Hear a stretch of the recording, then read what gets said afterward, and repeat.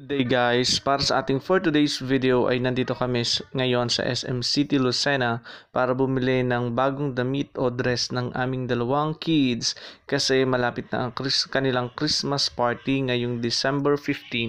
Excited at tuwang-tuwa ang dalawang bagets na ito. Hindi ko alam kung saan sila excited o tuwang-tuwa sa pagbili ba ng damit o dahil nakapunta ulit sila ng SM.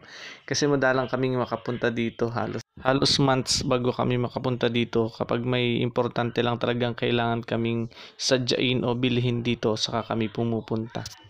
Tulad ngayon kaya nandito kami eh kasi naisipan ni Mami na mas mabuting bumili na kami ng da- bagong damit ng dalawang ito ng mas maaga kasi mahirap makipagsabayan sa karamihan ng tao. At eto na nga guys, pagkasampa namin sa third floor ayun busy ng Mami sa pamimili ng damit habang yung dalawa tuwang-tuwa sa cupcakes.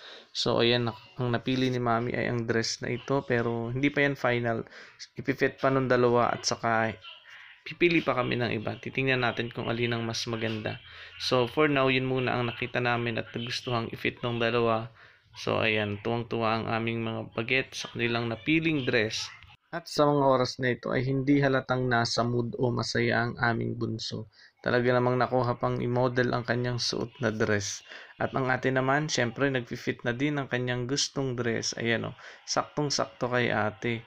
Pero hindi pa ito final guys. Pipili pa kami ng iba baka kasi may mas maganda pa.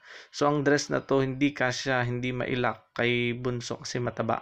Kay ate naman ganun din medyo maliit na. So hanap pa kami ng iba.